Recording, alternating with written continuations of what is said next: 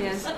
Finally, want to welcome our last speaker, Richard, who actually introduced Elise Ann for the purposes of this. Um, Richard was recommended by a previous speaker. So if a speaker recommends someone else, they have to be someone who is courageous and candid and willing to speak really openly um, and taking a lot of risks in their life. So I look forward to hearing more about that. Please welcome Richard, or Rich.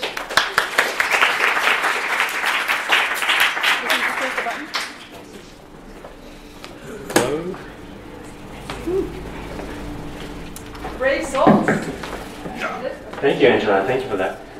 Guys and girls, I came up here, I'm freaked out. I'm like, don't fuck up, don't fuck up, don't fuck up, don't fuck up. Fucked up already. I'm sorry, guys.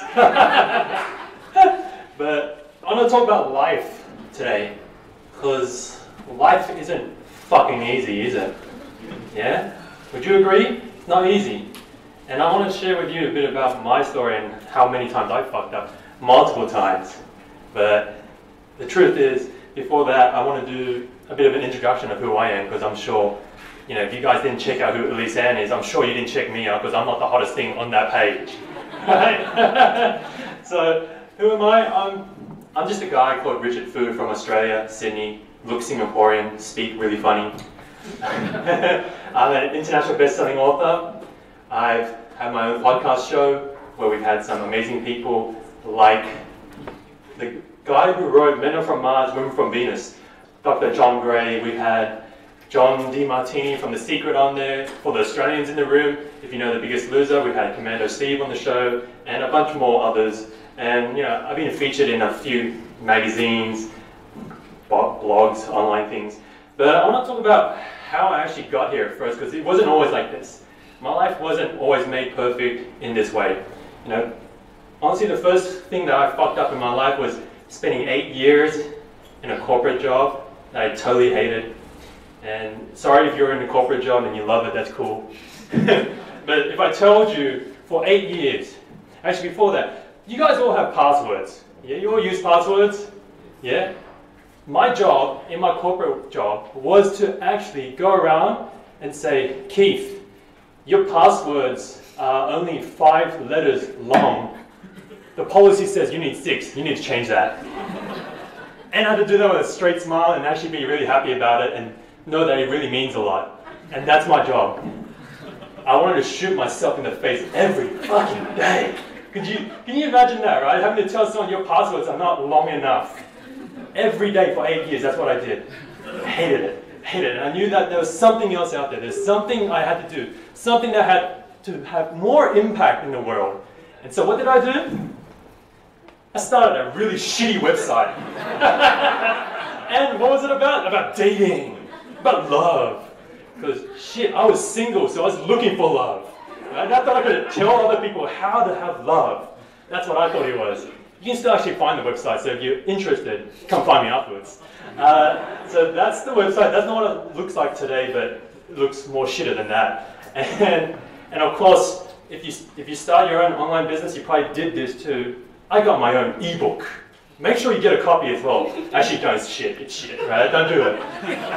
so that's my, my, my second fuck up was starting a dating blog. And get this, I was like the shittest at English in high school.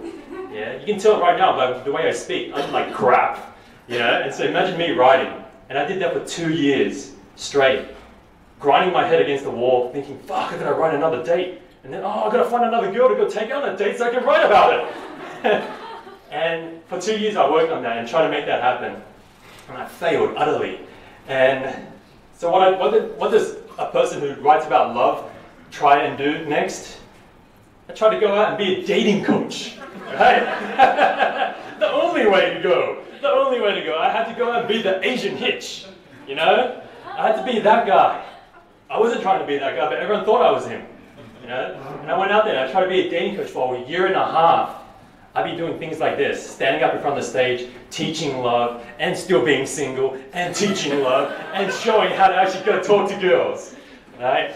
That's what I was doing for one and a half years. So I spent three and a half years in this industry trying to make something work that never worked. That never worked. And it wasn't until I actually went in and pivoted. I pivoted, and if you're in business, just like Keith talked about before, he had to pivot. Granted, I beat him to it, you know, it took him four years and I, did, I took three and a half. But I pivoted and I started doing a virtual summit, a virtual, like, imagine where you get all these speakers and you just sit on your computer and watch interviews with them. And I, in my very first interview, when I did this pivot, was that guy, John Gray, the guy who wrote Men Are From Mars, Women From Venus. And I was shitting my pants, right, when he was about to get on the call. I'm like, I don't know what to say. But the big fuck up here was that I took too long to pivot. And this is what I want to put out there to you. How many of you guys are holding on to something? Right? Staying in a relationship that's not working.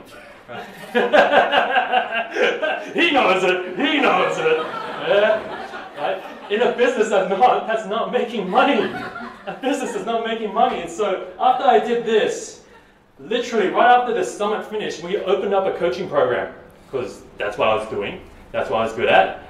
And this coaching program made the same amount of money one month after we finished as it took three years for my dating business to make that amount of money. And I sat there and like, fuck, what's going on? You know, but I still love that first business because it's like my baby. You know, and so I'm trying to juggle two businesses at once. And this was the fourth fuck up of mine is that I held on to both, not willing to let go. Some of the people in this room already know my story. Some of them already have seen this journey happen, you know. But for me, it wasn't until I realized my coach sat me down like, Richard, it took you three years to make the same amount of money that it took this other business one month. Why the hell are you still doing that dating business? Doesn't make sense. Doesn't make sense. And we've got to put ourselves in that situation too.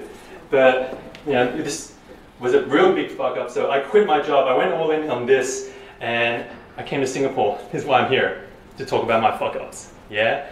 But not only that, I came here to run that. Then, what happened, and I've only been here for six weeks, my mentor came over, he fucked me over. yeah? In a good way. In a good way. Because he fucked me over because he did just one thing. He told me about the one thing. This book. How many of you guys read this book before? Awesome, you gotta get a copy. Don't worry, it's not my book, so I'm not selling anything. Yeah? This is by Gary Keller. And when he talked about this, my coach sat there and said, You know, Richard, if you, we all just did what we were really meant to do, just one thing that really mattered, that you were really gifted at, and didn't worry about everything else, what would your life look like? What would your life look like? And I thought about it. And he asked me, What's your one thing? What's the one thing you would do? And I sat there and I'm like, shit, fucked up. and so I want to talk about this one thing here because it's so important. So important for you guys to pay attention here. Because everyone thinks that you have one thing that you're good at and everything else you do is shit. Yeah? I want to tell you that's not the truth. The truth is this. You have one thing that you're really good at, that's what we call your genius. Things that just happen to you, that just flow, that just happens. Then outside of that, we think everything else is shit, but the truth is this. When you step out of your genius, you actually have things that you are excellent at. You're excellent at it because you're trained up in it. You're trained up to be excellent. And if you're not excellent at it, then you're just probably great at it. Pretty great at it. And if you're not great at it, you're good at it. And if you're not good at it, you're average. Yeah? And if you're not average, you're just shit house.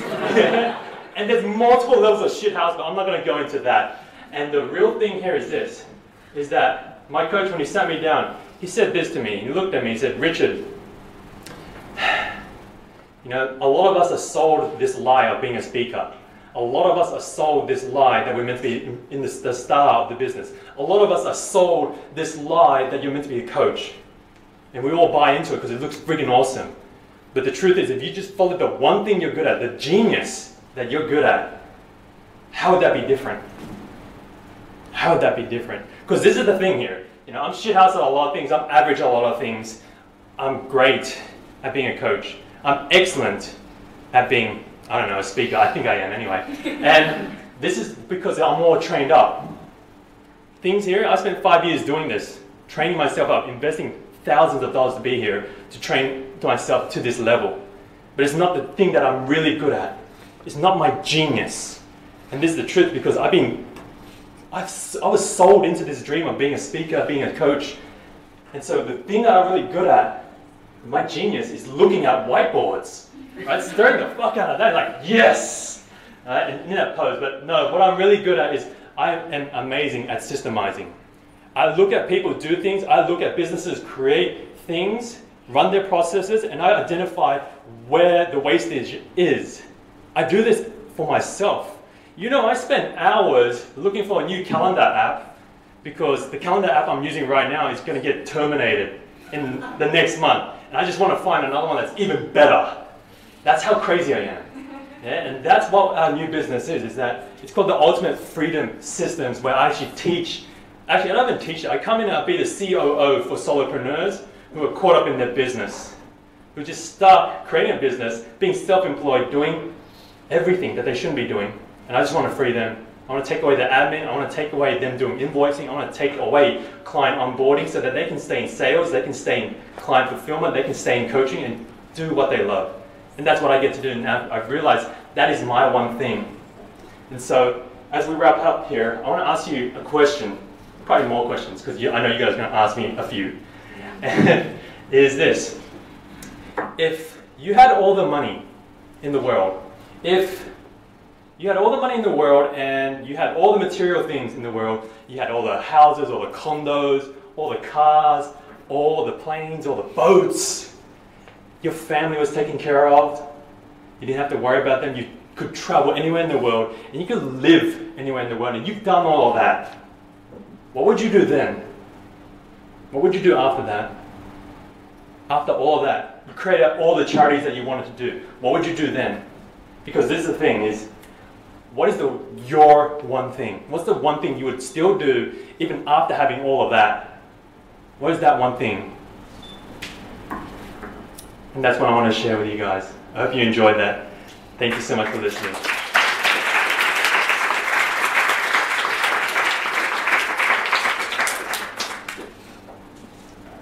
Questions? Yeah, yeah. Yeah, mate. Um, I think I speak for everyone here that as much as we want to find that genius that you were talking about, um, be it quarter life crisis or midlife crisis, there's always something that like we can't be too certain of what we actually, what's our one thing. So how do you go about go on about finding out that you're really good in systematics and stuff like? that? That's a great question. In case you guys can't hear that, he was saying, you know, how do you actually find out what that one thing and actually stick to it and go with it? Is that your question, man? Yeah. Great question. Um, I say this because my knees are like shaking, because even I don't know. I really don't know. This is my one thing. I really don't. This, I'm pretty sure it's like if I said my one thing was a 100 meter sprint, but Usain Bolt's out there as well, I'm sure there's other people that are better, if not just the same as me. And that's okay. That's okay if it is, right? But this is the thing. What if you went in on that one thing and you realized it wasn't? And you fucked up on it and then you led on to something else? Right? Did that help, man? Yeah, yeah. Yeah, good question, man. Yeah. Very good question. Awesome. I saw there's another hand over there somewhere. I'm just seeing things. What's Shimmerly? What's Shimley? Yeah. Oh, this guy, this guy's got like good, deep, good eyes, huh? Let me have a. So, man, why you make me do this? So, Keith noticed. Where is it, man? Out here. Yeah. S H M I L Y. That's me with really bad English, I told you. But it stood for see how much I love you. And this is a story, it's not even my story, right? It's this this this like um, you know two two you know grand, grandparents, right? Not my grandparents. I read this somewhere and I stole it. And so basically they had that. Every time they would write it on little things, on toilet paper rolls so that their partner could see it. They hide it in cards and they just it's a sign so that they would let each other know that they're loved. And that's what not, that's why I, I did what I did because not, there's not enough of that in this world. You know, we're too caught up in our own shit that we forget to let other people know how much we love them, right? So, good question, man. Is the website still like? Yeah, man. Romanticmissions.com. You can go get go get some.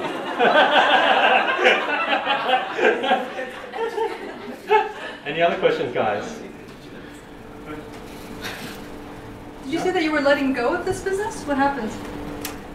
Yeah, so when when it's actually really letting go, you're supposed to let the website die. Yeah, but I, I totally missed that point because Bluehost automatically renewed it for another three years. I was like, oh shit, fucked up there. But I leave it up because I want I want it up there as a, as a token of like history of just where I've been. Mm-hmm. You know, the crazy shit that I've done, the stupid shit that I've done, mm-hmm. so that you know, if people look at it and go, well, who's this Richard Phu guy? What's this stupid website? Doesn't do anything with this. It's okay. You know, it's just part of my journey. I'm not afraid to hide from it. I want it out there so that, you know, no one can turn around and try and blackmail me like dude, it was already out there 10 years ago, so no big deal. So, good question. If you Yeah. The, the, the business I'm running right now, if I fucked up in this business right now, what would I do? Uh, what would I uh, if I fucked up in this job, I don't know what I would do. And this being the honest truth is if I didn't know, I'd have a plan B. And that's a bullshit way of living. It's a bullshit way of running business because you're not all in on what you're doing.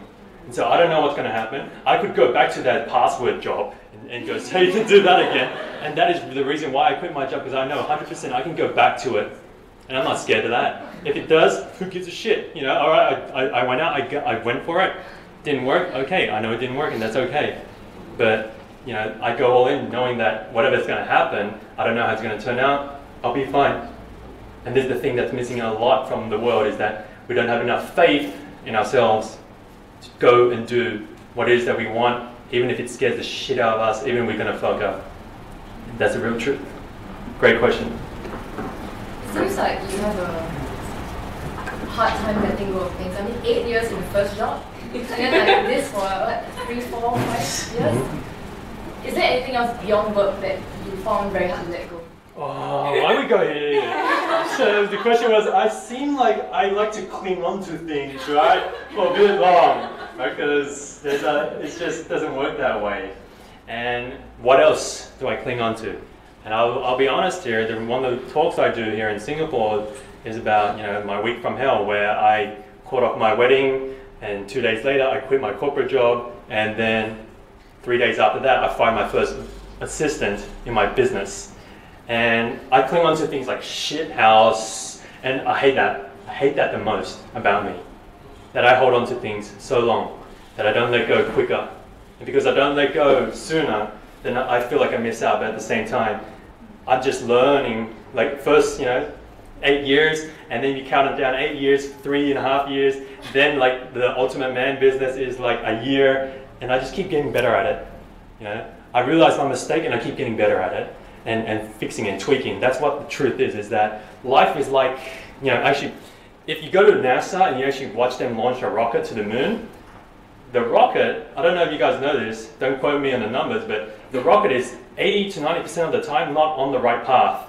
It's like, oh fuck, oh fuck, oh fuck, oh fuck, and then yeah, it's not on the right path. And this is exactly what life is. We're always tweaking. We're always tweaking. And to your question, man, is that if this turns out not to, not to be the, the, the one thing, it's all right. I mean, I'm just going here, and then oh fuck, not right. Then come back, come back, and that's it. And that's really what I get to do. And if, if we all just did that, then where could we be? You know, I'm only 30 now, right? If I just keep doing this, I'm just going to get quicker in learning how to let go of things.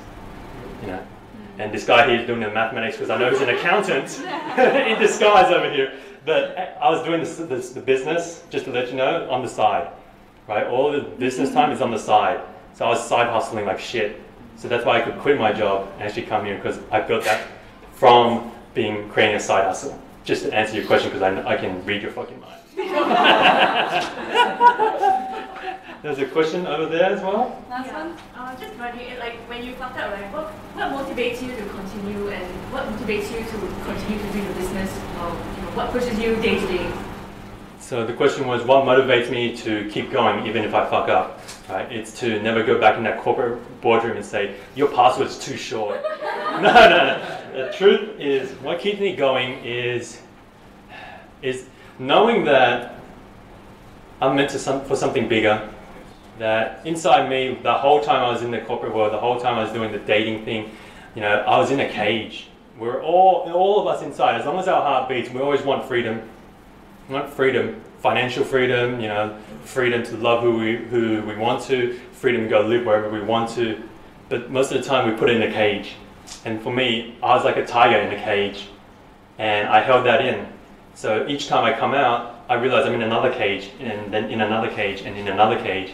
And so for me, the drive is to realize that free, as long as my heart beats, I, I just want freedom, freedom to be who I am. And so what I do every day is tap into that to learn and actually just continue being more of who I am every day, whatever that looks like, no matter how many times I mess up and, and fail in trying to sell things or try and do shit that's outside my genius, is to just continue just knowing and being more of me every day. If I could just do that, then I've done an amazing job. Can I ask Yeah. one, one quick Is it short? I mean, I mean you, you see my very focused individual, which is extremely, uh, it's a good thing, very driven. But I think it's also, do you think it's a little bit of a concern to to think of, you know, I should just chase at one thing, uh, regardless of what happens. Yes, fuck up. I mean, I'm going to backtrack a bit. I still chase to the extent that it could be detrimental. Mhm. To the extent that it become disillusional. And I think it might be easy to, to think of yourself and try to do what you want to do if you're single and you don't have responsibilities. But when you have uh, kids or a wife or a, a mom, then I think your fucked up can kind of cause them to fuck up even more sometimes. Mm. So I guess where, where, where do you see, where do you draw the line and be rational instead of just chasing for, for that moonshot? Very great question. So the question was, you know, where do I actually draw the line where instead of just chasing my pursuits, right, and fucking everyone else up, that matters to me. Yeah, that's your question. So it's a great question, and the honest truth is this: is that, man, uh, my corporate job. Yes, I was looking at passwords, but I was actually in internal audit. I'm the most the most risk adverse guy in the whole company. yeah, I hated risk, and so you know, I understand where you're coming from. Is that we all have different situations. Like I have obligations back at home. I have a property portfolio that I need to look after, and you know, I, I can't go out and not make money because I have to pay for that. Yeah, and so the way to do that is to do exactly this. If you want to create a business, and I know most of you guys are, because that's why you're here at the hub, is that you know you have to do that side hustle.